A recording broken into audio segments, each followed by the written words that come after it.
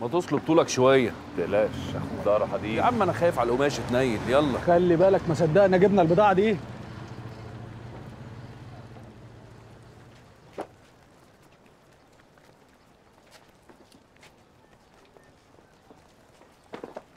العوافية طه إلا بصحي يا أخويا عملت إيه في حدوتة جدك لحسن أنا قابلت سيدنا الشيخ وقال لي لازم ترجع المال لأصحابه. وفيت على رشاد ليه يا فاطمه ما أنت عارف يا أخويا أمي وعمك ضغطوا عليا وأنا خلاص ما بقاش عندي حاجة تانية أقولها له ده رشاد ابن الحرامي. اللي عمره ما كره حد في حياته قد ما كره صالح. تروح تتجوزيه؟ ويلزم الكلام ده بس يا طه.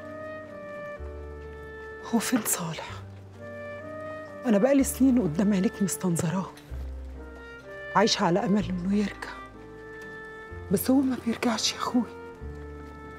عايزني استنظره كام سنه تاني بالله عليك كفاية وما تقلبش عليا المواد يا فاطمة الواد ده لا شبهنا ولا ينفعنا. بس رايدني وشريك ولا أنت عايزهم يرموني الراجل قد ابويا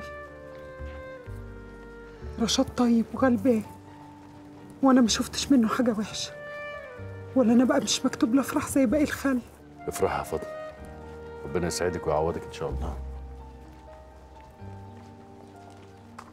يلا يا رجب يلا يا غريب ريحنا ولا إيه؟ عندنا شغل كتير.